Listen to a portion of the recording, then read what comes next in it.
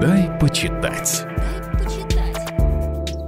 Здравствуйте, я Ксения Станиславовна Лицарева, декан филологического факультета Вятского государственного университета. Все же кошки и собаки так прочно вошли в жизнь человечества, что не пишет о них только ленивый. А тут прекрасный образец пионерского дружелюбия и единства, судите сами, правила Муравчика, сказка про Бога, котов и собак. Автор Александр Архангельский, писатель, литературный критик, телеведущий, литературовед, лауреат премий и член союзов. Решился на создание то ли притчи, то ли антиутопии, то ли сатирической сказки, избрав главным художественным приемом иносказание, что вполне оправдано. Ведь, как он признается в одном из интервью, если ты хочешь рассказать о том, как устроен мир, но не хочешь изображать его совсем темными красками, то бери животных, потому что они плохими никогда до конца не бывают. Правило Муравчика, хоть и полно аллюзий и реминисценций, очень прозрачно, понятно читателю даже старшего школьного возраста. Книжечка небольшая, в 160 страниц, читается быстро, у меня ушло 50 минут,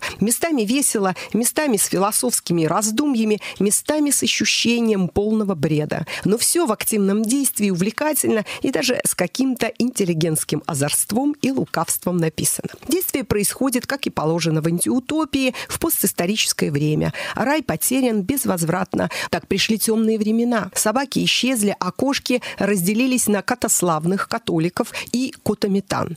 Священное предание о Боге по-разному толкуют святые кацы. У катославных – катриарх, у католиков – папаша, у катаметан – верховный жрец. Есть и свой философ, престарелый Мурдыхай, диктующий ученице Кришнамурке кашрут, наставления о правилах кошачьей жизни. Именно к нему приходит сверхкот Мурчавис, автор книги Майн Кун. Мудрец возмущается ее жутким, негуманным содержанием, но хитрый Мурчавис захватит власть, а философа, святых поэт поэта Макроусова и многих других бросит в темницу.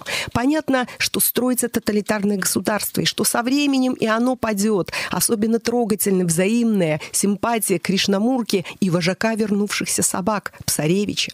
Сигналом к свержению тирана и узурпатора Мурчависа станет смерть мудреца Мурдыхая.